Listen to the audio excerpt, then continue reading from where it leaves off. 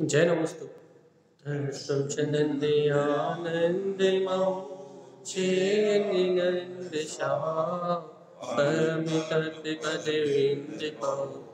नमियो सिद्धिशुभा गुरुवे श्री गोपतिरुई गोपति ज्ञान तारण तरण समर्थ मुनि गुरु संसार निवार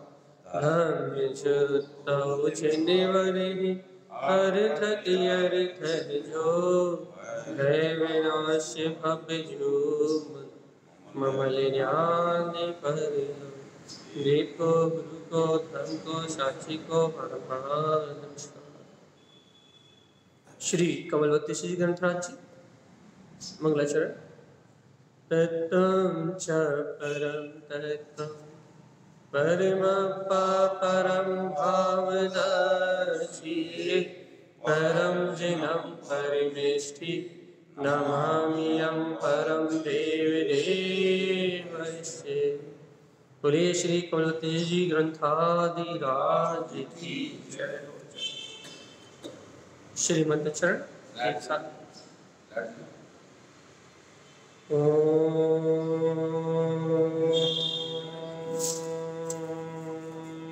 नमः।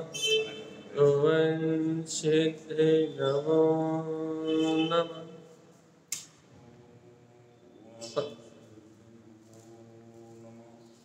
परमाराधमाचरवाणी सदगुरु तारण स्वामी और सर्वज्ञ जनेन परमात्मा की अमृत रस में ज्ञान अमृत को छलकाती हुई ये शुद्ध जन देशना। जहाँ पर विगत चार पाँच दिनों से एक ही गाथा का मंथन कर रहे हैं भैया। और उसमें एक छोटी सी बात समझने के लिए है अपने लिए। जिन वैरम चा सहा गाथा नंबर सोलह। जिन वैनम चा सहा एक छोटी सी बात, यदि एक छोटा सिद्धांत यदि जीव के जीवन में उतर जाए, यदि उसकी श्रद्धा का विषय बन जाए तो मोक्ष का मार्ग बहुत सरल है, बहुत सरल। यदि जीव को ये विश्वास हो जाए यदि जीव को ये विश्वास हो जाए कि जिनेन्द्र परमात्मा के वचन ही मेरा स्वभाव जो भगवान की वाणी में आया है द्रव्य का स्वभाव, वो ही मेरा स्वभाव है। यदि जीव को इतना सा श्रद्धान हो जाए तो उसके जीवन में कोई बाधा नहीं। कोई बाधा नहीं मतलब कि देखो, जितनी भी इंद्री, विषय, कसाय, पाप आदि, जो भी परिणमन चल रहा है वो तो सब कर्माधीन जितनी भी बाहर की व्यवस्था है भाव भ्रमण रूप जो भी परिणमन चल रहा है वर्तमान में, वो तो सब कर्माधीन है भैया और भविष्य में जो चल रहा है, वो भी कर्म की अवस्था के अनुरूप चलना है। जैसे कर्म बने हैं, वैसा परिणमन चलना है। अब यदि जीव को ये सिद्धांत हो जाए कि जिन वैनम चा कि जिनेन्द्र परमात्मा जो कह रहे हैं, वो सत्य है, अर्थात ये बाहर की व्यवस्था, वस्तु की व्यवस्था तो अपनी योग्यता से परिणमित हो रही है। देखो देखो देखो, और द्रव्य का स्वभाव, मेरा स्वभाव क्या भैया? मेरा स्वभाव तो मात्र इसमें निर्लिप्त ज्ञाता भाव में रहना है भैया भगवान कह रहे हैं ये जड़, अचेतन, उद्गल, सारा परिणमन, ये सब कुछ तेरा तेरा परिणमन नहीं है। तो फिर मेरा परिणमन क्या भैया? देखो ना भैया, सहज, अपन जो जान रहे हैं, सहज जो देख रहे हैं अपन जो सहज अनुभव कर रहे हैं, यही अपना परिणाम अपना स्वभाव है, कैसा स्वभाव भैया? अपनी सत्ता, अपना स्वभाव है। कैसा है अपना, अपनी सत्ता, अपने अपना स्वभाव कैसा है भैया? भाई आनंद स्वरूप परमात्मा देखो लिख देखो, आज अपन इस गाथा को आगे बढ़ाने की कोशिश करते हैं। देखो गुरुमाज क्या कह रहा है। जिन वैनम च साहब कि भव्य आत्मा, जिनेन्द्र परमात्मा के वचन तुम्हारा स्वभाव है और देखो, जिस जिस जीव को, ऐसे जिन भगवान के वचनों का बल मिल जाता है, जो जिन भगवान के वचनों की श्रद्धा कर लेता है, उस जीव के अंदर से जिनियम मिथ्यात कसाय कम मानव। ये शक्ति प्रकट होती है भैया। ये बोध प्रकट होता है कि मैं इन कर्मों को, कसायों को और मिथ्यात को मैं जीत सकता हूँ।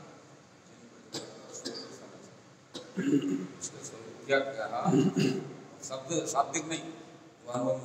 यही तो कह रहे हैं जिन वैरम च साहब जो जिनेन्द्र परमात्मा ने कहा वो मेरा स्वभाव ऐसी मान्यता जिसके अंदर में बैठ जाती है ऐसा जो मान लेता है उसके अंतर से फिर चेतना का बल प्रकट होता है चेतना की शक्ति प्रकट होती है।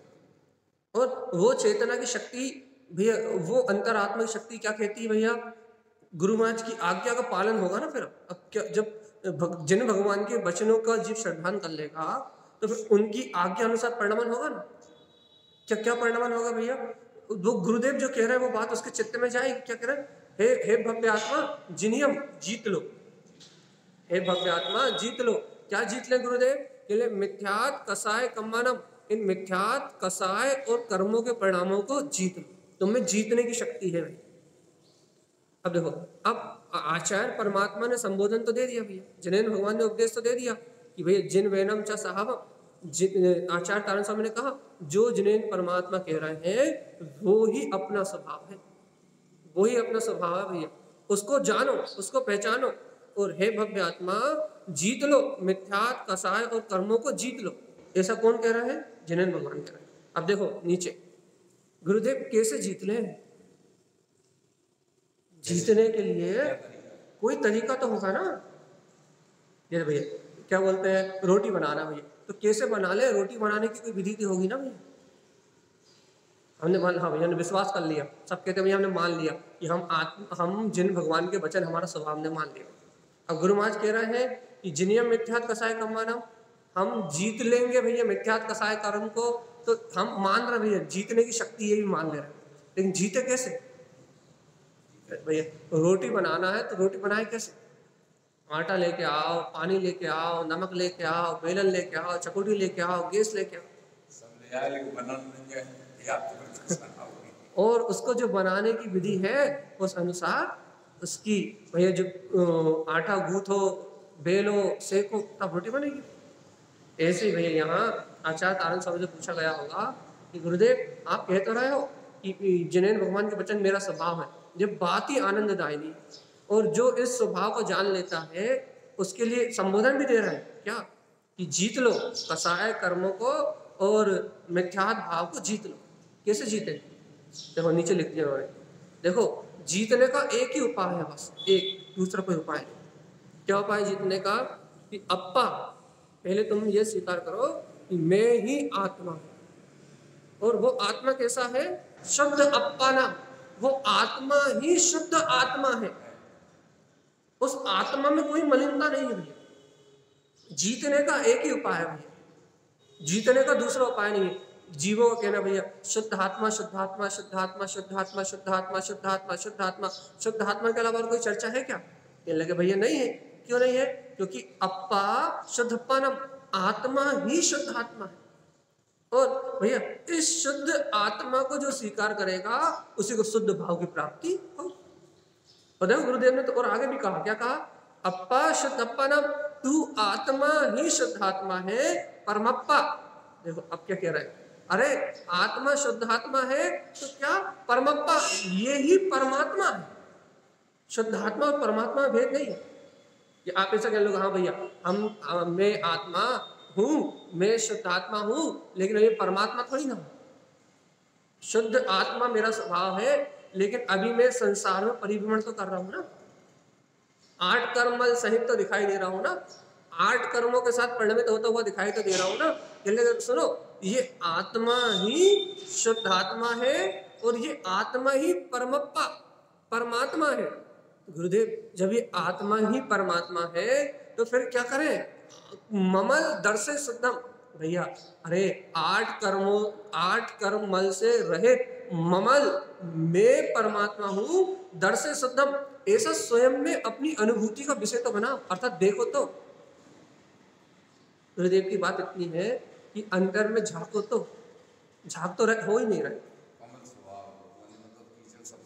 ममल ममल लिखा ममल। परमप्पा वो आत्मा परमात्मा है ममल दर्शे शुद्धम तुम अपनी शुद्ध दृष्टि से उस परमात्मा की टकटकी तो लगा देखो अच्छा तारण स्वामी ने तारण तारण शाक्राचार्य जी ग्रंथ प्रातः में कहा था अपा परमप तुल्यम चा विकल्प चित्त न क्रियते। वो आत्मा जो अभी तुम्हें अनुभव में आ रहा है जो आत्मा को तुम अभी जान रहे हो जिस आत्मा को तुम अभी स्वीकार कर रहे हो वो आत्मा ही परमात्मा है। परमात्मा है है तो सिद्ध समान सदा आत्मा ही परमात्मा है, विकल्प चित्त न क्रियते लेकिन तुम इस बात को इस बात को तुम सुन रहे हो, इस बात को तुम समझ रहे हो, इस बात को तुम अनुभव करना चाहते हो तो पहले विकल्प चित्त न क्रियते पहले तुम्हारे चित्त में जो अन्य प्रकार का विकल्प है ना, जो अन्य प्रकार की मिथ्या, रूढ़ी मानता है ना ऐसे कैसे होगा, ऐसा कैसे होगा, परमात्मा कैसे बनूँगा, परमात्मा पद कैसे प्रकट होगा, भैया, इस पंचम काल में सम्यक दर्शन होता है क्या? या फिर घर का राग कैसे छूटेगा? कर्तव्य कर्तव्य का भाव कैसे छूटेगा? भोक्तत्व का भाव कैसे छूटेगा? ये ये जो तुम्हें क्या बोलते हैं, जो नाना प्रकार की मिथ्या चिंताएँ है ना, विकल्प है ना चित्त में, पहले इनको अलग करो, तब मिथ्या छूटेगा भैया मिथ्यात को जीतना आपको, कसायों को जीतना है, कर्मों को जीतना है तो भगवान जी पहले इनसे दृष्टि हटाओ। जब तक अपनी दृष्टि इनसे नहीं हटेगी, देखो भैया, अपन दिन रात यदि कसायों में लगे रहे, अपन दिन रात यदि पर की चिंता, मिथ्या मिथ्या सल में लगे रहे भैया, और अपन अपन विचार करें, वे अपने कर्म नष्ट हो जाए, कैसे होंगे? एक बार दृष्टि पलटो तो कहाँ पलटे? कहले अपने ममल स्वभाव की ओर एक बार दृष्टि पलटो तो क्योंकि जैसे ही तुम ममल स्वभाव की ओर अपने ध्रुव आत्मा, अपने ज्ञान भाव की ओर दृष्टि पलटोगे, वैसे भैया, क्या होगा? वो परमात्म पद अपने अनुभव में, वो परमात्म सत्ता अपनी दृष्टि में सामने झलक जाएगी। सामने झलक जाएगा परमात्मा लेकिन भगवान जी कब झलकेगा? जब भगवान जी पर से अपन दृष्टि पलटेंगे, तब। और यदि भगवान आत्मा, यदि अपन पर से दृष्टि नहीं पलटेंगे तो क्या कभी परमात्मा अपने को दिख सकता है? कितनी पूजा हो, कितनी पाठ हो, कितनी क्रिया हो, कितने व्रत हो, कितने नियम हो, लेकिन जब तक अपन कसायों से विरक्त होने की भावना अपने अंदर में नहीं आई, तब तक वो परमात्मा का दर्शन नहीं होगा। और जीव को कसायों से, मिथ्या से विरक्त होने की भावना तब तक नहीं आएगी, जब तक उसे ये विश्वास नहीं होगा कि परमात्मा सत्ता वो परम सुख मेरे अंतर में है। तब तक वो उन्हें छोड़ने के लिए आतुर नहीं होगा। देखो अच्छा अपन कह रहे हैं ना, अनंत काल से इस जीव ने मिथ्यात्व को नहीं छोड़ा। अनंत काल से इस जीव ने विषय वासनाओं को नहीं छोड़ा। अब ये बताओ कि अनंत काल से इस जीव ने इंद्रिय विषय वासनाओं को मिथ्यात्व को क्यों नहीं छोड़ा? कारण क्या? कारण क्या भैया? बात इतनी सी है कि इसने अशुद्ध उपयोग रूप उस मलिनता, जो मलिनता है ना, उस मलिनता से मैं अलग हूँ, मैं शुद्ध चेतन लक्षण में उपयोग, ज्ञान में आत्मा हूँ कभी उसने शुद्ध चेतना को अंगीकार, स्वीकार ही नहीं किया। उसे कभी विश्वास ही नहीं हुआ। भैया, इस मलिनता से अलग शुद्ध बुद्ध निरावरण, मेरा वीतराग चैतन्य ज्ञान घन पिंड, वो गायक परमात्मा मेरे अंतर में प्रकाशित हो रहा। कभी उसे इस सत्य का विश्वास ही नहीं हुआ। और देखो भैया, इस सत्य का विश्वास नहीं हुआ, इस कारण से उसे सत्य की कभी अनुभूति नहीं क्योंकि देखो, पर से अज्ञान से, मोह से राग से, विषय से, कसाय से चित्त हटाने के लिए, उपयोग हटाने के लिए तुम्हें अपने में चित्त लगाना पड़ेगा। तो भैया, अपने में चित्त कब लगेगा? जब पहले तुम अपने आप को स्वीकार तो करो कि हाँ वो शुद्ध चेतना में हूँ। तब तो अशुद्धि से विराग आएगा विरक्ति आएगी। यदि अपने आप को शुद्ध चेतना स्वीकार नहीं करोगे तो बताओ, अशुद्धता से मुक्त होने का भाव कैसे आएगा? अच्छा मान लो, मैं अपने आप को स्त्री पुरुष ही मानता रहूँ तो मैं अपने आप को भगवान महावीर का भक्त मान कर, मानता रहूँ मैं अपने आप को तारण स्वामी का भक्त मानता रहूँ भैया। तो ये बता जब तक मुझे भगवान, मेरे अंदर में भगवत शक्ति है, मेरे अंदर परमात्मा शक्ति है, जब तक मुझे ये बोध नहीं होगा, तब तक मैं उनकी भक्ति, जो स्वभाव रूप भक्ति है उस भक्ति में ही धर्म मानता रहूँगा। भैया क्या बोलते हैं, भगवान महावीर की भक्ति है। भक्ति का नाम ही धर्म लग रहेगा भैया। एक, देखो, भक्ति का नाम धर्म कब तक है भैया? जब तक परमात्मा की स्वीकारता पर में है, कि पर में परमात्मा है, और वो परमात्मा मुझे कुछ देता है। उस परमात्मा से मुझे कोई लाभ है, उस परमात्मा की भक्ति से मुझे इंद्रिय विषय भोगों की संतुष्टि का लाभ होता है। इंद्रिय विषय भोगों की तृप्ति उस परमात्मा के आश्रय से मिलती है। वो परमात्मा जन्म कराता है, वो परमात्मा मृत्यु देता है, वो परमात्मा न्याय करता है और उस परमात्मा से ही ये सारी सृष्टि है। जब तक ऐसी मान्यता है, तब तक भक्ति मार्ग है जीव के पास। तब तक ज्ञान मार्ग को नहीं जान सकता। तब तक उसके लिए नाच, गाना, भक्ति, बस यही सब धर्म है भैया।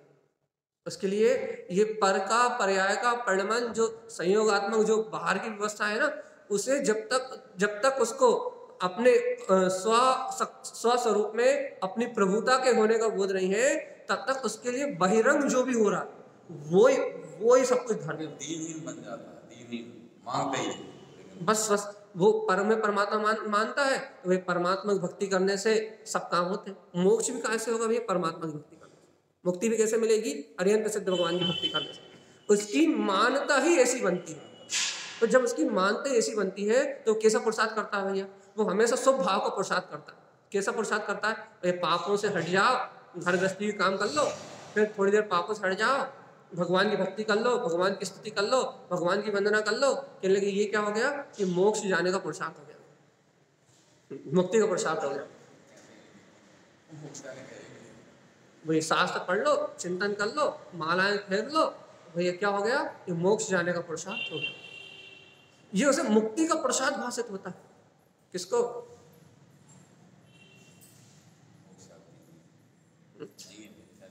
जिसको परमात्मा की स्वीकारता अनादिकाल से पर में पड़ी हुई।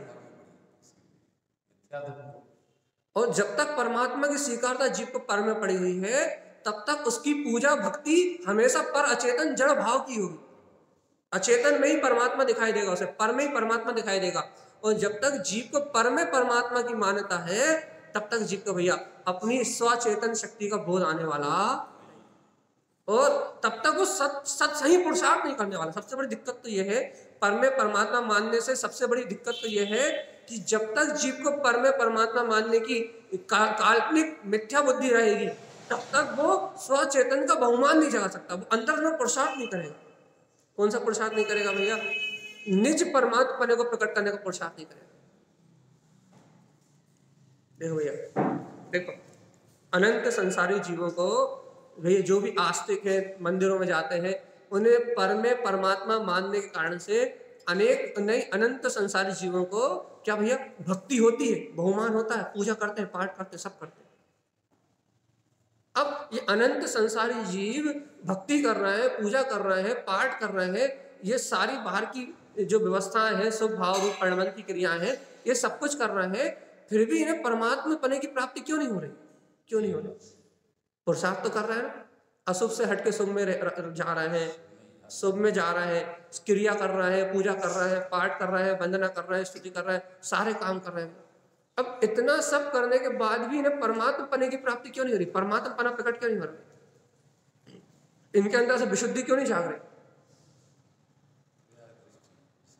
इसलिए नहीं जाग रहे भैया क्योंकि इन्हें परमात्मा पने को प्रकट करने का पुरुषार्थ स्वयं को परमात्मा स्वीकार करने के बाद होगा।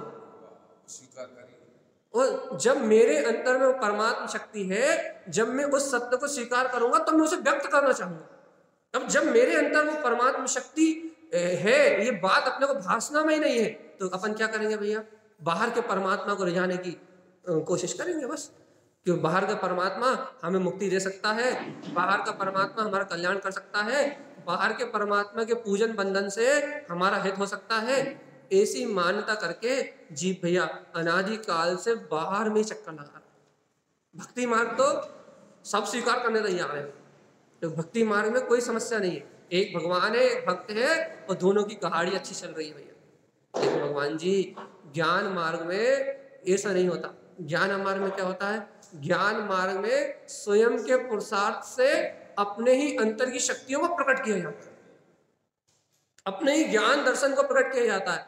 अपने उपयोग में ही वीतरागता का अंकुरण किया जाता है। बताओ भैया, आज जीव को वीतरागता क्यों नहीं आ रही? जीव नियम ले रहा है, व्रत ले रहा है, उपवास कर रहा है, महाव्रत तक धारण कर रहा भैया, लेकिन उलझा हुआ है बाहरी प्रपंच आज जीव व्रत, महाव्रत, नियम, संयम इतना उपसर्ग आदि सहन करने के बाद भी आज जीव अपने निरावरण भीतराग तत्व का अनुभव क्यों नहीं कर पा रहा? इतना सब करने के बाद भी अपनी भीतराग शक्ति का अनुभव क्यों नहीं कर पा रहा? इतने व्रत कर रहा है, इतने नियम कर रहा है, इतने संयम कर रहा है, आज उस जीव को सम्यक दर्शन रूप भीतराग शक्ति का अंश प्रकट क्यों नहीं हो रहा? इतना सब करने के बाद। कारण क्या? कारण क्या? भैया वीतराग शक्ति का अंश प्रकट होता है अपने स्वभाव के बल पे। उस अपने आप को परमात्म सत्ता अपनी प्रभुता को स्वीकार करने के बल पे अर्थात अपनी प्रभुता को स्वीकार करने के बाद जो अंतर से वीर उठता है उस वीर से वीतरागता प्रकट होती है। लेकिन ये जीव क्या कर रहा है भैया? शुभ भाव से शुभ परिणामों से जो शरीर आदि की क्रियावर्ती शक्ति है पुद्गल के आश्रित जो शुभ परिणाम है उस शुभ परिणाम से उस वीतरागता को मान रहा। मान रहा है कि भैया कपड़े छोड़ दिए तो बीत वीतरागता हो नहीं वो वो वो उस वीर शक्ति को जान ही नहीं रहा। जो चैतन्य की वीर शक्ति है उसको जान ही नहीं रहा। और चैतन्य की वीर शक्ति का क्या प्रयोग कर रहा है अभी? वो चैतन्य की वीर शक्ति का प्रयोग क्या कर रहा है? वो अपनी चैतन्य की वीर शक्ति को इंद्रिय विषय भोगों में जाने से रोक रहा है। पंच महाव्रतों का पालन कर रहा है आजकल के साधुओं की बात नहीं है पूर्व में जो द्रवलिंगी साधु थे उनकी बात है। आजकल तो द्रवलिंगी भी नहीं है मिथ्यालिंगी। आजकल तो सबको लिंगी है भाई। तो किसकी बात चल रही है? द्रवलिंगी की। आजकल वालों की बात नहीं चल रही। आजकल ऐसे नहीं है जैसे जिनकी जिनकी चर्चा कर रहे हैं ना मिथ्या दृष्टि की आजकल वो भी नहीं है। आजकल द्रवलिंगी भी नहीं है भैया कुलिंगी है। तो ठीक है अपन काय की बात कर काय की चर्चा कर रहे हैं भैया कि वो जो द्रवलिंगी साधु है वो पंच इंद्री विषयों का निरोध कर देता। है लेकिन कैसे?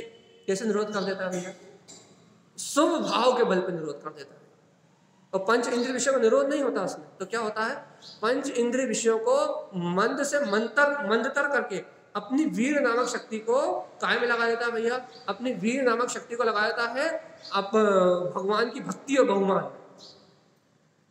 भगवान की भक्ति और बहुमान में अपनी वीर नामक शक्ति को लगाया जाता है भैया। जीवों की रक्षा का परिणाम भी होता है। जीवों की हिंसा भी नहीं करता। पंच महाव्रतों का धारक होता है। उसकी पूरी शक्ति कहाँ लग जाती है भैया? उसकी पूरी शक्ति में मैं ध्यान लगा के बैठा हूँ उस शरीर की स्थिरता में पूरी वीर नामक शक्ति लगती है। शुभ शुक्ल हो सकती और शुभ, भक्ति का भाव। भगवान की भक्ति का भाव। और ये भाव ना, देखो, उसने अपनी पूरी वीर नामक शक्ति को, देखो, मैं बैठा हूँ, बस। वीर नामक शक्ति उसकी यहाँ परिणमित नहीं हो रही। शरीर के हलन चलन में परिणमित नहीं हो रही। उसकी वीर नामक शक्ति कहाँ परिणमित हो रही भैया? अपने शरीर की स्थिरता में। परमानेंट भाव आते हैं कि नहीं आते परम परिणामिक भाव तो भैया भावलिंगियों को आएँगे धर्मलिंगियों कैसे आएँगे? तो क्या कह रहे हैं भैया? वो अपनी पूरी वीरियत नाम की शक्ति को शरीर की स्थिरता में लगा देता है मन की स्थिरता में लगा देता है। और मन की स्थिरता शरीर की स्थिरता में लगा के क्या क्या विचार करता है भैया? या अरियंत भक्ति या भैया जीव रक्षा का भाव और व्रतों को में दृढ़ रहने की भावना ये सारी भावना उसके अंदर चलती रहती है। ये सारे भाव उसके अंदर परिणमित होते रहते हैं। संयम से ये सोचता है इन भावों से मेरे मन को बाँध दूँगा। वही तो कह रहे हैं। वो इन भावों से मन वचन काय की स्थिरता को भी प्राप्त कर लेता। बैठ जाता है एक तरफ़ एक तरफ़। हिलता भी नहीं चलता भी नहीं फिरता भी नहीं। हज़ार हज़ार वर्ष तक की तपस्या भी कर लेता। लेकिन भगवान जी देखो तो कितना बड़ा आश्चर्य है। उसकी वीर्य नाम की शक्ति पूर्ण रूप पुद्गल के आश्रित, शुभ भाव के आश्रित परिणमित हो रही और ऐसी शुभ भाव के आश्रित परिणमित होने वाली वीरत्व की शक्ति उसकी उसकी पूरी चेतना, उसका पूरा उपयोग, उस शरीर आदि के स्थिरता में, उस मन वचन काय की क्रिया में, उस क्रियावर्ती शक्ति में मैं कर रहा हूँ, ऐसी भाषा में लगा रहता। और भगवान जी, देखो तो ऐसे उस जीव को इतना पुरुषार्थ करने के बाद भी अपने, अपनी निज आत्म शक्ति को प्रकट करने का भाव नहीं आता। अपने वीर्य शक्ति को उत्पन्न करने का भाव नहीं आता। अपनी चेतना को व्यक्त करने का भाव नहीं आता। हो हो कहीं भी चला जाए। देखो तो इतना कठिन पुरुषार्थ इतनी कठिन तपस्या। लेकिन भगवान जी देखो तो देखो अपन कहते हैं कि हम कैसे मूड है, हमने कैसी मूर्ता करी। अब भैया, इतनी कठिन तपस्या करने के बाद इतना कठिन तप करने के बाद इतना कठिन तपस्रण करने के बाद भी उसे अपने अंतर से वो वीतरागता को प्रकट करने की भावना नहीं आती। जबकि वीतरागता रूप आचरण कर रहा है बाहर से। लेकिन उस वीतरागता को उपलब्ध करने रूप जो चेतना परिणाम है ना, वो चेतना परिणाम प्रकट नहीं होता। क्यों प्र- क्यों प्रकट नहीं होता भैया? वो तो अरियंत भगवान जैसे लिंग को धारण करके अरियंत बनने के लिए आगे बढ़ा है ना भैया? भैया, वो अरिहंत बनने के लिए आगे तो बढ़ा लेकिन भैया, जहाँ वो प्रभुता है जहाँ वो अरियंत दशा है, जिसके आश्रय से वीतरागता प्रकट होती है, उस वीतराग तत्व को भूल के आगे बढ़ा है। जिसके आश्रय से वीतरागता का जन्म होना है, जिसके आश्रय से सम्यक दर्शन, ज्ञान, चरित्र का उदय होना है, वो चेतना का विस्मरण करके आगे बढ़ा है। अपनी प्रभुता को भूल के आगे बढ़ा है भैया। तो फिर किस किस बल पे आगे बढ़ा है भैया? भक्ति के बल, भक्ति के बल पे, क्या बोलते हैं? अज्ञानता के बल पे भैया। अज्ञान भाव के बल पे आगे बढ़ा है। कौन सा ज्ञान भाव भैया? अपने कल्याण का साधन पर कोई मान रहा। मेरा कल्याण हो जाएगा। मेरा कल्याण महाव्रतों से हो जाएगा मेरा कल्याण शुभ क्रियाओं से हो जाए। मेरा कल्याण भगवान की भक्ति से हो जाए। क्या वो भव अभव दोनों हो सकता है। तो है। हाँ सकता है कोई बड़ी बात नहीं। भव अभव दोनों हो सकता है। वो जीव भव्य भी हो सकता है अभव्य भी हो सकता है। भैया है है है। अरे भगवान जी नौवे गिरेवक तक जाके एक एक इंद्रिय पर्याय में जा रहा है। क्या करें? भव भव दोनों हो सकता है भैया। और वर्तमान वर्तमान पर्याय में भैया पुण्य का बंद करके देवगति जाएगा वो। चेतना जाग गई बीच में कोई होनहार जग गई किसी का निमित्त मिल गया भैया भगवान की वाणी मिल गई और बीच में बोध आ गया कि अरे ये तो बाहर का परिणाम है महाव्रत भी बाहर का परिणाम है। मैं इससे भिन्न गायक आत्मा हूँ। ऐसी चेतना जाग गई तो वहाँ से उसका काम सम्यक प्रारंभ हो जाएगा। अपनी प्रभुता का बहुमान आ जाएगा अपनी स्वसत्ता का बोध आ जाएगा। और भाई नहीं जागी चेतना तो फिर अनंत काल से जैसे संसारी था वैसे संसारी रहेगा बात अपने को उनकी नहीं करना। बात अपने को ये करना है कि अपने जब तक अपने को अपने निज घट में परमात्मा सत्ता है अपने घट में वो परमात्मा है जब तक अपने को ये स्वीकार नहीं होगा ना तो अपन उसे व्यक्त करने का बेशक पुरुषार्थ नहीं करेंगे। ऐसा नहीं कर अपन बाहर की क्रियाएँ तो करेंगे। तो से बाहर की क्रियाएँ तो हो रही ठीक है। शरीर की क्रिया तो हो रही। लक्ष्य दूसरा है ना वो लक्ष्य ये ये बात पकड़ना अपने को भैया। क्या? कि जब तक अपन उस चेतन में शक्ति को उस शुद्धता को उस वीतरागता को उस अनंत चतुष्टय को अपना ही स्वभाव है। जब तक ऐसा स्वीकार नहीं करेंगे तो हम उसे प्रकट करने का कोई अभ्यास नहीं करेंगे। और हमसे अभ्यास क्यों नहीं हो रहा? क्योंकि वो वीतराग शक्ति हमें स्वीकार नहीं हो रही। भैया राग देश मोह कर्तत्व इनसे विरक्त होने की भावना क्यों नहीं आ रही? इंद्रिय विषय व्यसनों से पापों से विरक्त होने की भावना क्यों नहीं आ रही? हम बेशक प्रसाद क्यों नहीं कर पा रहे? क्योंकि भैया हमें बेसिक वीतरागता हमारे अंदर है, स्वीकार ही नहीं हो रहा। बेशक सुख हमारे अंदर में बेशक स्वीकार ही नहीं हो रहा। और जब तक वो स्वीकार नहीं होगा जब तक चेतना का पुरुषार्थ नहीं होगा। कि नहीं आए तो कुछ भी कर सकते। चेतनता का ज्ञान दर्शन का पुरुषार्थ नहीं होगा भाई। मेरी अंतर शक्ति का पुरुषार्थ नहीं होगा। और जब तक मेरी अंतर शक्ति का पुरुषार्थ नहीं होगा जब तक वो शुद्ध उपयोग मुझे अनुभव में नहीं आएगा तब तक पर्याय से उपयोग भिन्न नहीं होगा। पर्याय से उपयोग भिन्न नहीं हो और जब तक पर्याय से उपयोग भिन्न नहीं होगा उपयोग शुद्ध है और पर्याय अशुद्ध चल रही। वर्तमान जो पर्याय चल रही, वो अशुद्ध चल रही। जब तक अशुद्ध पर्याय से उपयोग भिन्न नहीं होगा, भगवान आत्मा क्या कह रहा है? शुभ, अशुभ, दोनों अशुद्ध पर्याय हैं। जब तक इन अशुद्ध पर्याय से उपयोग की भिन्नता नहीं होगी, तब तक मोक्ष मार्ग नहीं। भिन्न होना पड़ेगा भाई। शुभ, अशुभ दोनों पर परिणमन से शुभ अशुभ दोनों परिणमन से मैं चेतन लक्षण में आत्मा भिन्न हूँ। ऐसी भिन्नता भासना चाहिए। तो मोक्ष मार्ग। तो भैया, जीव सब करने के लिए तैयार है।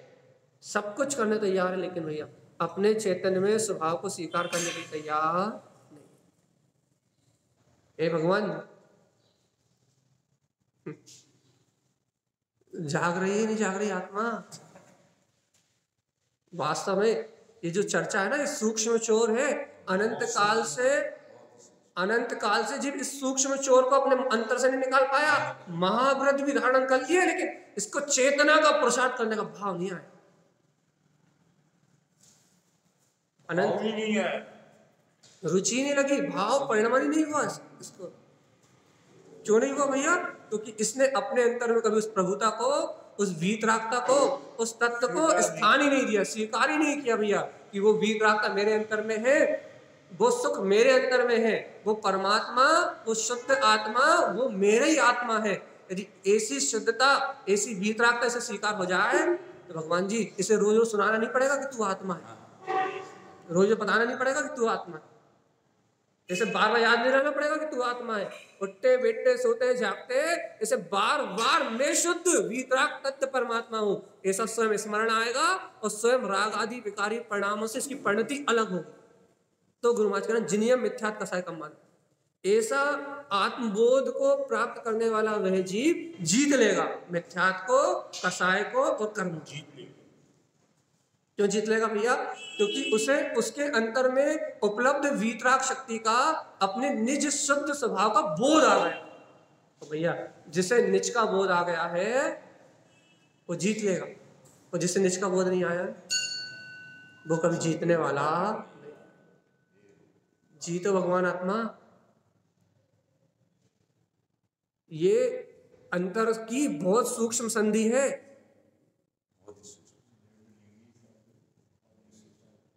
इतनी सूक्ष्म संधि है इतनी सूक्ष्म संधि है इतनी सूक्ष्म संधि है कि ये बड़े बड़े द्रवलिंग और महाव्रत को धारण करने वालों को पकड़ में नहीं आ रही। आज के कुलिंगियों की नहीं जो वास्तविक द्रवलिंगी है जो वास्तविक में द्रवलिंगी है उन्हें ये बात पकड़ में नहीं आ रही। इतनी सूक्ष्म बात है।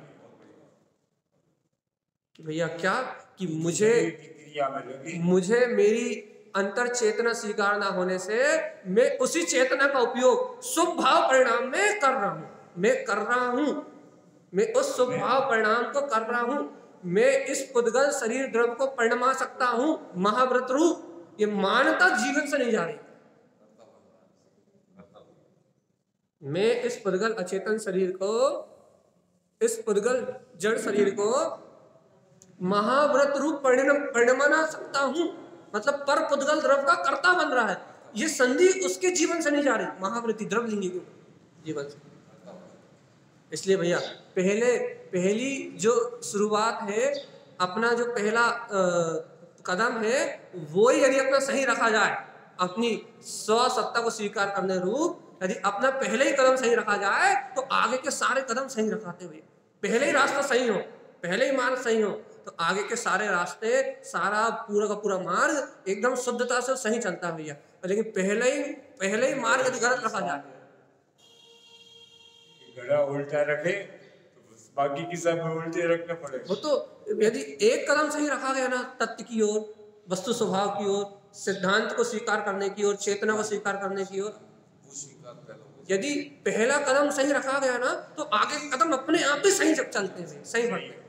लेकिन भैया, यदि पहला कदम ही मिथ्यात रखा गया हो, कि भैया, पर की क्रिया में पर से भिन्न भिन्नत ना भाषित करके देह आदि की क्रिया में यदि धर्म की स्वीकारता पहली बार में ही हो गई हो बाहर में देव गुरु धर्म की भक्ति को यही धर्म मान लिया हो तो फिर सारे कदम उल्टे रखाते नहीं फिर बस वो बाहरी बाहर की क्रिया, वही धर्म है, वही धर्म है, वही धर्म है, वही धर्म है, वही धर्म, पूरे कदम उल्टे रखाते हैं।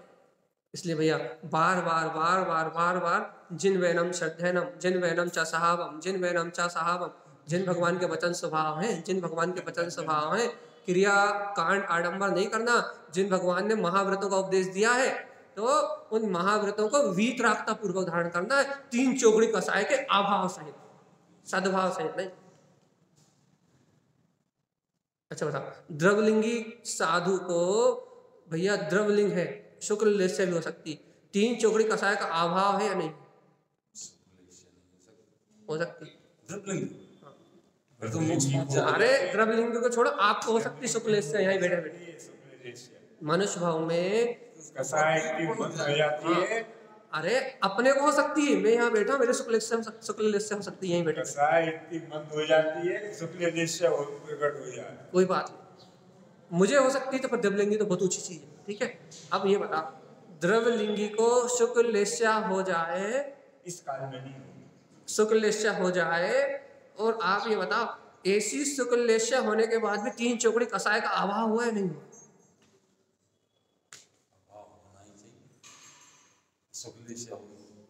नहीं ये भी नहीं। बस अब आप हाँ बताओ भैया वहाँ से। हाँ किरण दीदी बताओ। होगी। हम तो ये पूछ रहे हैं कि द्रवलिंगी को जिसको क्या कहते हैं शुक्ल रूप कसाय हो गई उसको तीन चौकड़ी कसाय का अभाव हुआ या नहीं हुआ? नहीं हुआ। हाँ? चलिए बता तीन चौकड़ी कसाय का अभाव? ये ये सास पड़े इन लोगों ने। कोई गारंटी नहीं है। हो ही नहीं सकता। हाँ, जब जब तक सम्यक दर्शन नहीं हुआ हाँ। मिथ्या दर्शन मिथ्या ज्ञान मिथ्या चारित्र कैसे चले जाएँगे? जब तक उसे सम्यक दर्शन नहीं हुआ अरे तो हम वही तो द्रवलिंगी कैसे द्रवलिंगी कैसे हुआ सम्यक दर्शन हुआ था अभाव पूछ रहे अभाव। जब तक यदि मिथ्यादि नहीं गया दर्शन मोहिनी नहीं गया अनंतानुबंधी नहीं तो अप्रत्यक्षान अपने प्रत्याख्यान और प्रत्यक्षान कहाँ से ले लोगे आप? चौथे गुण स्थान में हो सकती है। और मिथ्या दृष्टि को हो सकती है पहले गुण स्थान में। नहीं नहीं नहीं। इस काल में नहीं हो रही जीवों की लेकिन हाँ। कहिए।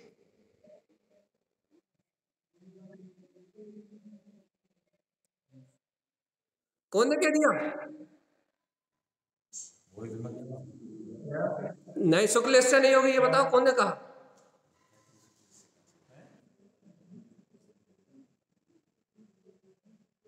भगवान जी एक मिनट एक मिनट एक मिनट एक मिनट एक मिनट एक मिनट एक मिनट। एक मिनट रुको तो रुको सर हमें सुनो।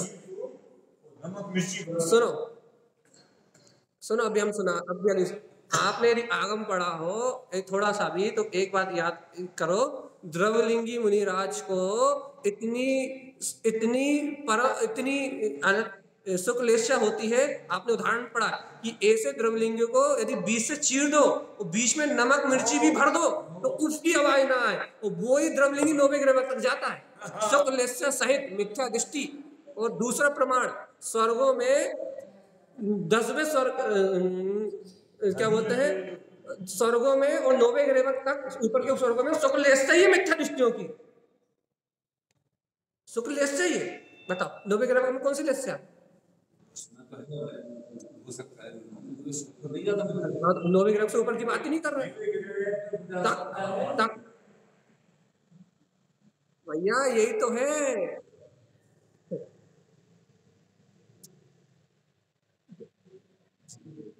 क्यों फिर फिर फिर एक काम करो, स्वर्गों में बारहवें तेरहवें स्वर्ग में नौवे ग्रह में एक काम करो शुक्ल से हटाओ वहाँ से, आगम को बदल दो।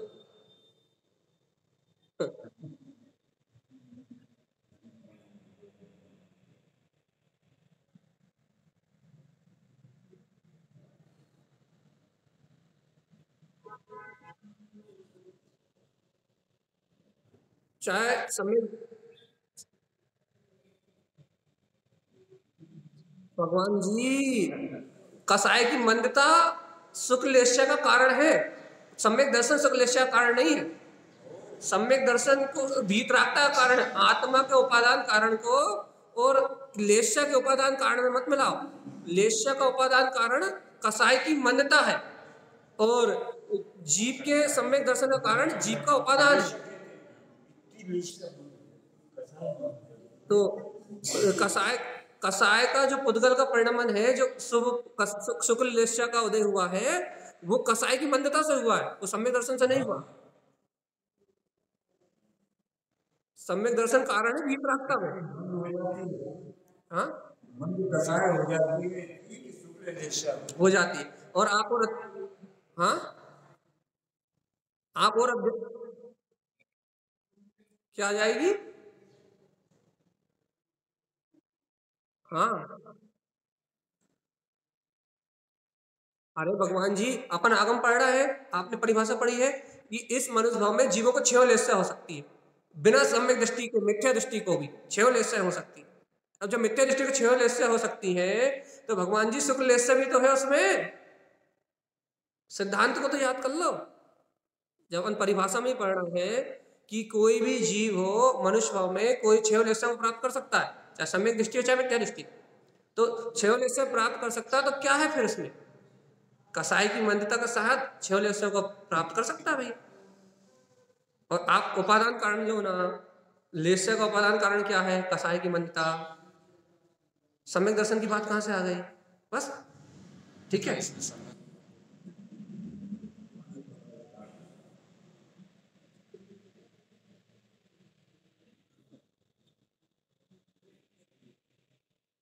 वो शुक्ल ध्यान अलग उन्हें आगम को बहुत अभ्यास सल्ला सल्ला को शुक्ल ध्यान वो अलग चीज़ है वो तो पृथक पृथक वो पृथक पृथक हाँ।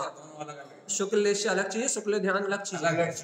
ये बिल्कुल अलग रहे तो भाई अपन अपने विषय पे वापस आए कि जीव हमने परसों भी ये बात बताई थी हमने जबकि। तो चलो अब हम अपनी बात पे आए भैया। किसको? अरिहंत भगवान को। अर- अनंत भगवान को परम शुक्ल। परम शुक्ल होती है इसलिए ईर्षा पद आश्रय होता है। हाँ। लेकिन वो उसी समय झड़ जाता है। वो लेशा उनके नो कर्म का परिणमन है। व्यवहार से कही। उद्गल का परिणमन है। अरिहंत का परिणमन थोड़ी ना। अरिहंत का परिणमन तो अनंत दर्शन ज्ञान सुख वीर में है। वहाँ कसाय का अभाव होने से सुख लेस्या परम लेस्या स्वयं है। उसे प्रकट थोड़ी किया गया। ठीक है? अब अपन यहाँ हाँ? है हाँ वही जीव की भूल है बस यही तो जीव अटक गया ना कि कहीं ना कहीं उसने किसी ना किसी चीज़ को करता मान लिया। कहीं ना कहीं उसने अपनी अटकन कर ली। तो भैया जिस जीव ने अपनी अटकन कर ली वो जीव को तत्व का बोध नहीं होगा। कहीं भी अटकने का नाम ही उलझन है और कहीं भी आप अटके आप आप तो खुद बताओ भैया। पुद्गल शुभ शुक्ल लेस्य पुद्गल परिणाम है जीव परिणाम। पुद्गल परिणाम है? और पुद्गल परिणाम कैसे प्रकट होगा? पुद्गल के आश्रय से। कसाय मंद होगी तो भैया वो पुद्गल परिणाम प्रकट हो जाएगा। बस इतनी सी बात है। तो अब अपन यहाँ अपनी चर्चा कर रहे हैं भैया, कि जीव की अनादि काल की क्या भूल है भैया? एक छोटी सी भूल है भैया। क्या भूल है? कि इसे वहाँ मैं करता हूँ, ये भाषणा बनी रहती, इतनी मंद कसाय होने के बाद। अपन आगम में पढ़ते हैं ना कि उनके, उन उन द्रवलिंगी मुनिराज को उनके शरीर के दो टुकड़े कर दो, नमक, मिर्ची भर दो तो उफ की आवाज़ ना करें। इतनी इतनी इतनी शुक्ल इतने भद्र परिणाम। उसकी आवाज़ ना करें।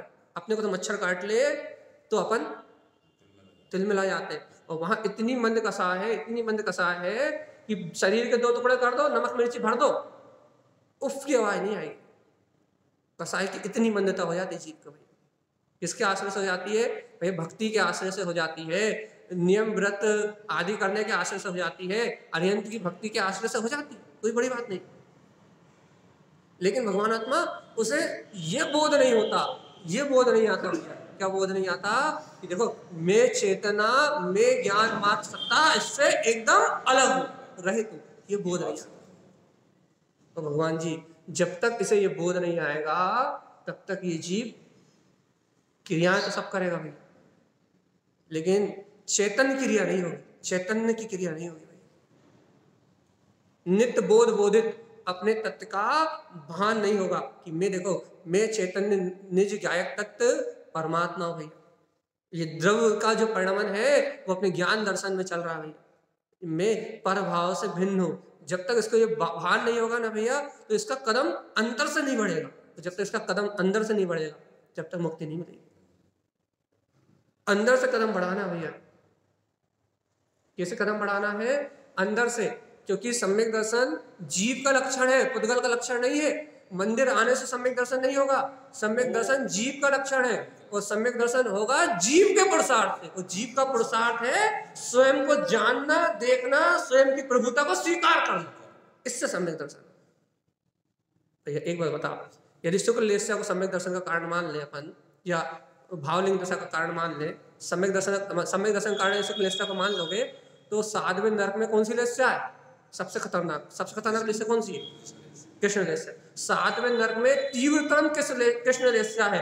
और उस तीव्रतम कृष्ण लेस्या में भी जीव को सम्यक दर्शन की प्राप्ति होती है हो। सकती नहीं है होती है। नहीं है। हो सकती है। मतलब जीवों को हो रही है ना? होती है हो रही है। ठीक है। ज़रूरी तो नहीं थोड़ी कि ना आपको होगी। मैं तो कह रहा हूँ महाजीव को सम्यक दर्शन की प्राप्ति होती है। अच्छा भैया कृष्ण लेस्य के परिणाम में सम्यक दर्शन की प्राप्ति हो सकती है भैया। मंद मंद कृष्ण तीव्रतम कृष्ण लेस्य सातवें सातवें नरक में। तीव्रतम। सबसे उत्कृष्ट। छठे नरक में है मध्यम और छठे नरक पाँचवें नरक के अंतिम भाग में है क्या बोलते हैं मंदता सबसे कम। तो क्या कह रहा है सबसे तीव्र महा सबसे तीव्र कृष्ण लेस्य होने के बाद भी भगवान आत्मा, सोचो तो भगवान जी, जीव के परिणाम, देखो कैसे चल रहा है। महासंकलेशित सातवें नरक की वेदना। और अनुभव काय का हो रहा है? अपने चैतन्य में ज्ञान, स्वभाव का, आत्मा। तो इन बाहर के परिणामों से उस चेतना का कोई संबंध नहीं है भैया। सिद्ध कर दिया। तो भैया, बात ये चल रही है, अपनी बात क्या चल रही है? आत्म अनुभव की ओर आगे बढ़ के तो बताओ। आप आत्म अनुभव की ओर आगे बढ़ के तो बताओ। आत्म अनुभव को आप स्वीकार तो करो भगवान जी। अपने वीतराग तत्व को आप स्वीकार तो करो। आपको स्वीकारता में तो आए कि गायक तत्व भगवान वो तो बाहर से ही है वेश्या को और बस जीव की परिणति उस रूप अनुरंजित हो रही है। जीव की कसाय मंद हो रही है। तो जीव पुण्य में धर्म मान रहा है। जीव के परिणाम मंद हो रहा है। तो भैया देखो देखो एक बात, एक और एक और बस जब जीव की कसाय मंद होती है ना तो क्या होता है? देखो जीव को संतुष्टि क्यों आती है? जीव की जब कसाय मंद होती है ना तो संतुष्टि क्यों आती जीव की कसाय मंद होने से पाप विषय पर जो आदि जो परिणाम है ना, जिन्हें अपन आधार मानते थे, वो सारे बिला जाते हैं। और जब पाप विषय कसाय के परिणाम बिला जाते हैं तो उसके उपयोग में जो क्या बोलते हैं, स्वच्छता, निर्मलता रहती परिणामों की, शुक्ल की स्वच्छता, निर्मलता रहती है उस निर्मलता को ही समझता है कि देखो देखो, ये ये निर्मलता, जो निर्मलता दिख रही है शुक्ल भाव की, वो निर्मलता को समझता है। देखो, यही तो सुचिता। यही तो सुचिता। और वो उसी को सुचिता मान लेता है। देखो, अपना मलिनता काय में लग रही है? जो अपने तीव्र क्रोध आदि के परिणाम चल रहा है अपने मलिन लग रहा है। अपने वो पाप के विषय के, वासनाओं के, तीव्र राग के, मोह के परिणाम आ जाएँगे तो अपने को ये क्या लगेंगे भैया? देखो, ये मलिनता बेकार है। और मान लो अभ्यारी आपके चित्त से तीव्र पाप के भाव, तीव्र कसाय के भाव, लोभ आदि सारे परिणामों का अभ्यारी बिल्कुल कर दिया जाए ज़ीरो न्यूटन आपकी कसाय हो जाए ज़ीरो। टेम्परेचर पे आ जाए। ज़ीरो मतलब खत्म नहीं होगी। मतलब न्यूट्रल हो जाए। अब आपके मन में क्या चलेगा भैया? ना ना पाप के भाव चलेंगे, ना विषय के भाव चलेंगे, ना कसाय का भाव चलेंगे। क्या भाव चलेंगे? कसाय इतनी मंद होने से क्या भाव चलेंगे भैया? भैया, बढ़िया व्रत में रहो। ना ठंड लगनी ना गर्मी लगनी बड़े महाव्रतों का पालन करो। कोई भाव ही नहीं आ रहा। कोई विकारी भाव ही नहीं आ रहा। बड़े महाव्रतों का पालन करेगा भैया बढ़िया। बड़े उपसर्ग भी सहन होंगे बड़े महाव्रतों का पालन करेगा बड़े महाव्रतों में चर्या बनी रहेगी और भैया जिन भावों को बुरा मानते थे पाप राग आदि वो तो आ ही नहीं रहे। हम तो शुद्ध हैं। बना हम तो शुद्ध है ही। यदि हमारे मन में पाप आता तो हम अशुद्ध मान लेते। यदि हमारे मन मन मन में क्रोध आता तो अशुद्ध मान लेते। हमारे मन में यदि काम आता तो अशुद्ध मान लेते। लेकिन बेसे तो हमें परिणाम ही नहीं हो रहा। परिणाम नहीं हो रहा है वही तो बात है कि वो बेसे परिणाम ही नहीं हो रहा है। जैसे परिणामों को मोक्ष मार्ग कहा जाता है वैसे हो रहा है। कैसे हो रहा है? जैसे मोक्ष मार्ग कहते हैं। व्रत के हो रहा है महाव्रत के पालन के हो रहा है उपसर्ग सहन करने के हो रहा है। ये हो रहा है। जिसे मोक्ष मार्ग मानते हैं अपन तो जो जिसे अपन संसार मानते हैं वो तो हो ही नहीं रहा। अब जब वो परिणाम ही नहीं हो रहा है संतुष्ट है भाई। संतुष्ट है। तृप्ति है। सब में अटक गए। सब में अटक गई बुद्धि अब भैया अब ये सब में बुद्धि हटक गई तो अब जीव को कल्याण होने वाला। नहीं है। यही बात अपन समझा रहे थे जैसे भगवान आत्मा कि पहला कदम बीतरागता से शुरू करो। मैं गायक तत्व भगवान, आत्मा ही हूँ। ये नींव पक्की करो और फिर फिर इन राग आदि विकारी परिणामों से व्रक्त हो। चेतना को, चेतना का पुरुषार्थ बढ़ाओ, चेतना का मंथन करो चैतन्य तत्व का चिंतन करो, अपने आप को शुद्ध बुद्ध स्वीकार करो तो ये अशुद्ध राग आदि परिणाम से व्रत होने की भावना बढ़ेगी अपनी। अपना उपयोग बार बार हटेगा इन पापों से। और आत्मा की रुचि सहित हटेगा तो सम्यक दर्शन का कारण। तत्व की रुचि सहित अपने आप को शुद्ध, बुद्ध मान के अपने आप को स्वीकार करके यदि इन पापों से, कसायों से, इन बाहर की व्यवस्थाओं से हटोगे, स्वचेतन के आश्रय हटोगे तो वो वीतरागता, सम्यक दर्शन, ज्ञान चाहिए को प्रकट करने का कारण बनेगा अब आपकी जो कसाय मंद होंगी, वो होंगी तत्व के आश्रय के कारण। पुद्गल के आश्रय के कारण नहीं होंगे, पुण्य भाव के कारण नहीं होगी शुभ भाव के कारण नहीं होगी। अब आपको लक्ष्य में क्रियाएँ तो वही होंगी दृढ़लिंगी जैसी। भाव तो वैसे रहेंगे दृढ़लिंगी जैसे। लेकिन अभिप्राय में शुद्धता, अभिप्राय में शुद्धता आ जाएगी। अपने तत्व का लक्ष्य आ जाएगा, अपने स्वभाव की प्रतीति आ जाएगी। और भैया, जब अपने अभिप्राय में तत्व का लक्ष्य आ जाएगा, उस समय से भैया मोक्ष मार्ग प्रारंभ हो जाएगा। इतनी सी बात समझाने के लिए, जिन वैनम चा सहावम, हमें पचास मिनट कहानी पढ़नी पड़ी। ये जिन भगवान के वचन, अपना स्वभाव बहुत अंतर अब ये ज्ञान की मिथ्या थी उसको ज्ञान नहीं होता बहुत फटकी इतनी सी बात समझाने के लिए कि भगवान जी, जिन वैनन चा सहावम जिनयति मिथ्यात कसाय कमानम मैं मिथ्यात कसाय कर्म को जीत सकता हूँ। कब? जब अपा शुद्ध अपना मैं आत्मा ही शुद्ध आत्मा हूँ। पहले ये बात आपके जहम में, आपके चित्त में उतर जाए कि मैं आत्मा ही शुद्ध आत्मा हूँ और परमप्पा ममल जर से शुद्धम। भैया अपनी दृष्टि में देखो, आठ कर्मों से रहित वो परमात्मा ही मेरा स्वभाव है। तो क्या होगा भैया? देखो, इससे क्या होगा? इससे ये होगा कि अपन क्रियाएँ करेंगे वही बाहर परिणाम वही चलेगा, लेकिन अपनी दिशा अपनी ओर रहेगी। अपने अपनी स्वीकारता रहेगी तो अपनी दिशा अपनी ओर रहेगी। और भैया, यदि ऐसा स्वीकार करके नहीं चलेंगे ना तो अपन करेंगे वही, लेकिन अपनी दिशा पर की ओर रहेगी। पर की, पर के सन्मुख होकर भी कसाय मंद होती है और स्व होकर भी कसाय मंद होती कसाय तो दोनों तरफ़ मंद होना। लेकिन भैया, पर के सन्मुख होने से जो कसाय मंद होती है, वो मात्र पुण्य भाव के आश्रय से होती है। और स्व सन्मुख होने से जो कसाय मंद होती है, वो कसाय और मिथ्यात आदि भाव को छेद करते हुए मंद होती है। उपसम करते हुए मंद होती है। अपने आश्रय से जो कुछ होगा, वो कर्मों के विनाश के लिए होगा। पर के आश्रय से जो कुछ भी होगा वो कर्मों के आश्रय के लिए होगा नहीं आई बात समझ अपन अपने स्वतत्व के आश्रय से भी अपन अपने स्वभाव के आश्रय से यदि तत्व को ग्रहण करेंगे क्या होगा भैया? कसाय तो मन होगी ना। मंद कसाय तो होगी तत्व को तत्व चर्चा सुन रहे हैं अभी अपने तीव्र कसाय है क्या? तीव्र कसा भी हो सकता अभी तो नहीं है ना अपन तत्व की चर्चा सुन रहा है अभी अपने तीव्र कसाय नहीं है ना। तो मतलब तत्व चर्चा सुनते हुए मंद कसाय हुई ना। लेकिन अपनी दिशा तत्व की रही। और यदि अपन अभी आरती उपजन कर रहे होते बढ़िया तो भी कसाय मंद हो जाता। लेकिन जब दृष्टि जानने के बाद भी तीव्र कसा हो सकता।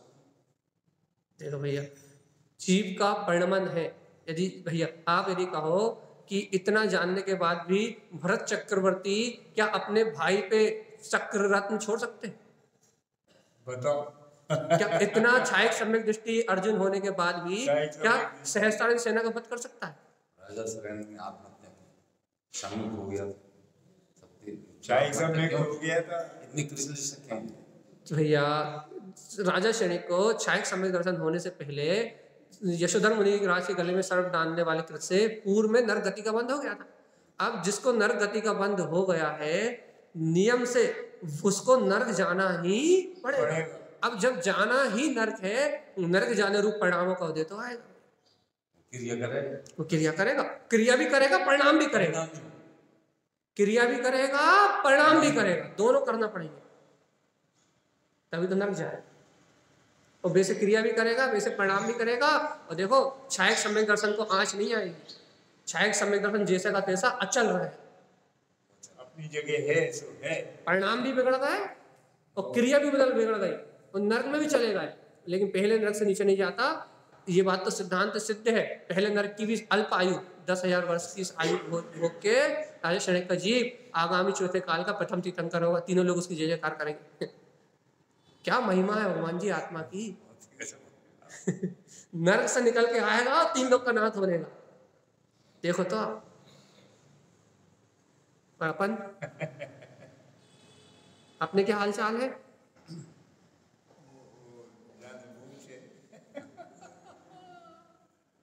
इस चर्चा का अभिप्राय इतना है। हम सोचा था आगे गाथा में बढ़ाएँगे, गाथा आगे बढ़ाएँगे, लेकिन चर्चा ऐसी निकल आई कि अच्छे से अच्छे से सुन लो भगवान जी। पहला कदम वीतरागता की ओर चाहिए। मैं आत्मा, शुद्धात्मा, परमात्मा, शुद्ध चेतना ही हूँ। यहाँ से शुरुआत करोगे तो कभी मार्ग नहीं भटकोगे। क्यों? क्योंकि परता, कर्तापना नहीं आएगा। देखो, ऐसा क्यों ऐसा क्यों? मैं आत्मा, शुद्धात्मा, परमात्मा हूँ यह स्वीकार करने से ही वीतरागता क्यों उत्पन्न होती है? क्योंकि मैं आत्मा, शुद्धात्मा, परमात्मा हूँ, ऐसा स्वीकार करके आगे बढ़ते हैं तो मैं व्रत कर रहा हूँ, उसमें कर्ता बना नहीं आता। वहाँ पर पर्याय में अहम नहीं आता। वस्तु स्वभाव का विरोध नहीं होता। मैं पुद्गल द्रव का कर रहा हूँ, नियम, संयम, व्रत, जो भी मुझसे हो रहा है, वो मेरा परिणमन है। ऐसी मिथ्या बुद्धि का जन्म नहीं होता। और इसी मिथ्या बुद्धि का जन्म ना होने से इन सब क्रियाओं में भिन्नता भासती है। चेतनता को अलग भासता है और जड़त्व को अलग भासता है। शुभ परिणाम को जड़त रूप भासता है और मैं चेतन वीतराग तत्व उसको अलग भासता है। और जब ये जीव दोनों को अलग अलग भासता है तब इसके निर्माण का मार्ग बनता है। निज चेतनता को स्वीकार कर, कर चलता है तो पर की क्रियाओं में कर्तत्व का भाव नहीं आता। और भैया जो निज चेतनता को स्वीकार करके नहीं चलता द्रव स्वभाव को स्वीकार करके नहीं चलता उसको क्या होता है? वो करता सब कुछ सही है। लेकिन उसको मैं उसको पूर्ण कर्तत्व रूप अपने पने की भाषा बनी रहती है। मैं कर रहा हूँ सुख परिणाम में मैं पने की भाषा बनी रहती है, इसलिए उसका पूरा मार्ग विपरीत हो जाता है। इसलिए कहते हैं, भगवान जी, चेतना को, वस्तु स्वभाव को द्रव स्वभाव को अपने दृष्टि का विषय बना के चलो। अपने भगवान की वाणी को, सर्वज्ञ के वचनों को द्रव के स्वभाव को अपने श्रद्धान में प्रगाढ़ करके चलो। तो कर्तत्व की भाषा नहीं आएगी और होने वाला परिणमन भी भिन्न भाषा भेद ज्ञान तत्व निर्णय बराबर रहेगा। और यदि भैया अपने वीतराग तत्व को अपने स्वभाव को मुक्त करके ना चले अपन अपना पुरुषार्थ ना करें सुन ले भैया आत्मा हूँ आत्मा हूँ आत्मा हूँ लेकिन आत्मा की शुद्ध ना बनी रहे आत्मा की भाषणा ना बनी रहे और दिन भर लगे रहे उन पाप की क्रियाओं में तो भैया कल्याण होने वाला भाषणा चाहिए प्रतीति चाहिए ये सब भिन्न है और मैं भिन्न तो काम बनेगा तो वीतराग तक जो कदम बढ़ेगा तो गायक तत्व की ओर कदम बढ़ेगा तो अंतर से बहुमान जागेगा कि देखो तो ये बीतराग मार्ग मिला में, जिन भगवान के वचन मेरा स्वभाव। कौन खाएगा इतना स्वाभिमान? किसको आएगा इतना स्वाभिमान? अरे जिनेन भगवान के वचन मेरा स्वभाव है कि मैं आत्मा, शुद्धात्मा, परमात्मा, तीनों लोगों में विजय प्राप्त करने वाला चैतन्य में भगवान आत्मा, ममल स्वभावी हूँ। जिनियम मिथ्यात कसाय कमाना मैं जीत लूँगा। कहा को मिथ्यात को कसाय कम किसको आएगा इतना स्वाभिमान? जिन भगवान के वचन मेरा स्वभाव है। किसको आएगा इतना भगवान जो अपने अंतर में चैतन्य में वीतराग शक्ति को स्वीकार कर लेगा। उसको आएगा बहुमान ये मेरे उसको बहुमान आ जाएगा भैया कि मेरे बचन है मेरे लिए। नहीं तो भैया रोज सुन रहा है एक कान से सुन रहा है और दूसरे कान से बाहर। एक कान से सुन रहा है और दूसरे कान से बाहर भगवान जी। कौन से? भगवान के वचन कौन सी भगवान की वाणी, कौन सा आत्मा, कौन सा शुद्धात्मा, कौन सा परमात्मा, गाय का मिथ्यात कौन सा मिथ्यात कहना हम नहीं जानते। हम तो जैसे जी रहे हैं वैसे अच्छे। लोग वो कहते हैं, भैया, हम जैसे जी रहे हैं वैसे ही अच्छे। हमारे बढ़िया शांति है बड़े खा रहा है, पी रहा है, सो रहा है, बहुत अच्छा जीवन चल रहा है, कोई दिक्कत नहीं। कल लो भगवान जी, एक भाव भावेश कल, एक भाव बस, इस भाव वालेश कल। अगले भाव तो कहाँ जाना है, वो तो पक्का ही। जाग जा भगवान जी। नहीं शुक्ल लेशा बहुत बहुत बद परिणाम होते हैं। शुक्ल लेशा शुक्ल लेशा होती तो सुनना सुनना बंद हो जाता आप। बहुत उत्कृष्ट परिणाम है। पद हाँ पद्म पीत पीत लेशाएँ है पद्म लेशा है पीत लेशा है। तो इस समय अपनी पद्म लेशा हो सकती पीत लेशा हो सकती। शुक्ल लेशा का परिणाम बहुत ऊँचे हाई लेवल के परिणाम। तो इस काल में नहीं होगी इतनी मंद क्या कह सकते हैं भैया?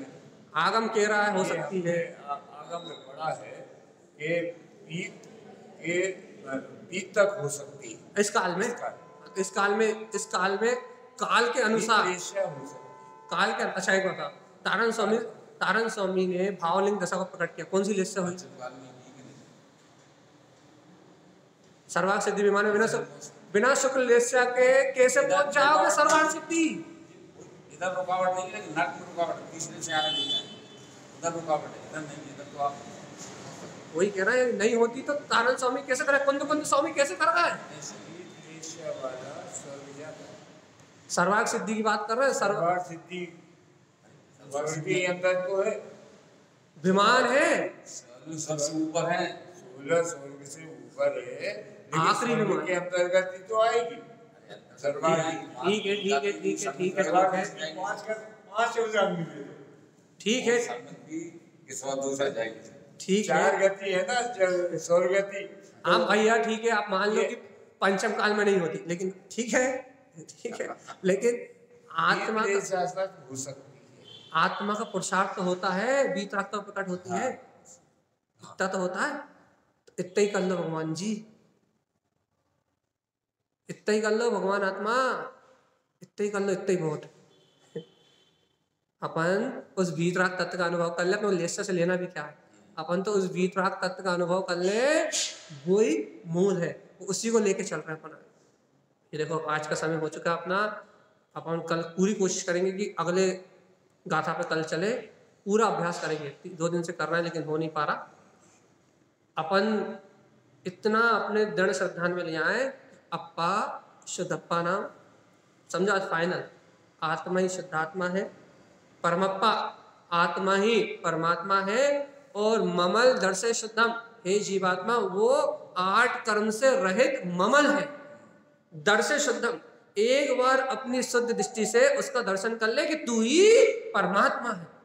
तेरे अलावा और कहीं परमात्मा शक्ति निवास नहीं करती। यदि जीव इस सत्य को स्वीकार कर ले तो आज ही राग देश को त्यागने का परिणाम अपने आप आ जाए राग देश से भिन्नता अपने आप आ जाएगी, क्योंकि जो अपने आप को शुद्ध स्वीकार कर लेगा, उसको अशुद्धता से विरक्ति अपने आप आएगी। विरक्त विरक्ति मतलब क्या होता है? अशुद्धता चलेगी तो उसको देखेगा नहीं, शुद्धता को देखेगा। इसी को विरक्ति कहते हैं। विरक्ति, दृष्टि विरक्त हो जाएगी पर से। जो राग आदि विकारी परिणाम है ये मेरे नहीं है उनको नहीं देखेगा। चलेंगे तो विरक्ति मतलब क्या? राग आदि परिणाम जो है वो चलते हुए रहेंगे लेकिन वो उसे नहीं देखेगा। मैं परम तत्व हूँ इस सत्ता को देखेगा। दृष्टि से वो वैरागी हो जाएगा। भैया जो दृष्टि से पर से जो पर से दृष्टि पलट लेगा स्व चैतन्य पर दृष्टि कर लेगा भैया वो इस मोक्ष मार्ग में आगे बढ़े।